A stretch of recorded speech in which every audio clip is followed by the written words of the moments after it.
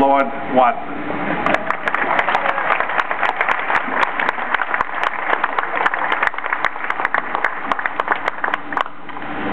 Well, good afternoon, friends. I think it is good afternoon by now.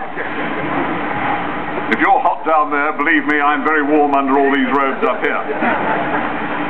Uh, it is only when you see the smallness of the Godspeed behind you, moored here below us, that you can grasp the scale of that first crossing. 104 settlers and 55 crew crammed into three tiny boats, and at the end of nine months, only 38 of them remained alive. Whatever the consequences of the crossing, its courage can never be doubted. Many more were to die, Englishmen and Indians. Many would suffer, starve, and perish in battle and from disease in the years that would follow. Slavery came to these shores with all its cruelty. But tragedy must not destroy what we can all rightly celebrate here today. When I was here two weeks ago with Her Majesty the Queen, a United States television reporter asked me, what are you, the Brits, celebrating? After all, you lost the colonies. Well, for us Brits, there are three things that we celebrate most joyfully.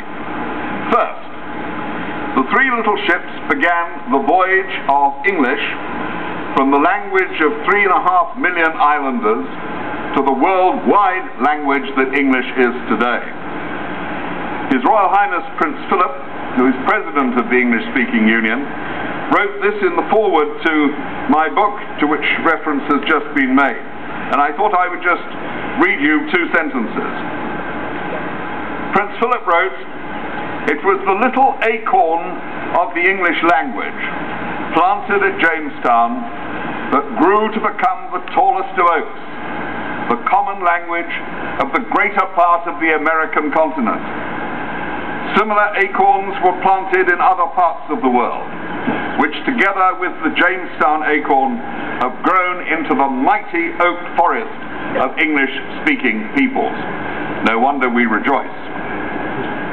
By the end of this decade, my friends, over 2 billion people, 2 billion, will use English, the working language of the global village.